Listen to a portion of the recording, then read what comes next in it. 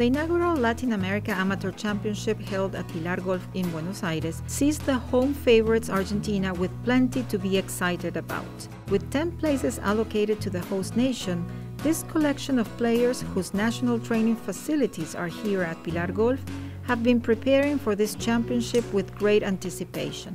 This is a, this is a special week. Uh, you know, you don't get the chance to, to play a tournament like this with such an incredible prize for, for the winner. Uh, it is new, it is exciting for the players, and I know they all feel uh, in a way differently this week.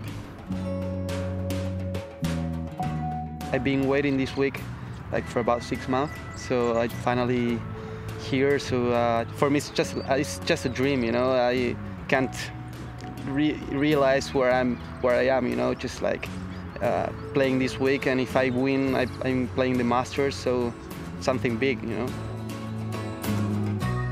It's kind of special for me because I live, actually I live like five minutes away from here. So I've been playing here since I've been playing golf.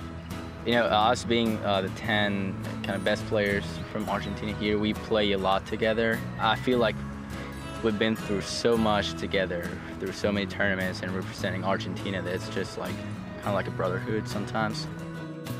Argentina was the natural birthplace of this inaugural championship, in part due to its great golf history, from Roberto de Vicenzo winning the Open in 1967 to Angel Cabrera winning the US Open in 2007 and the Masters in 2009.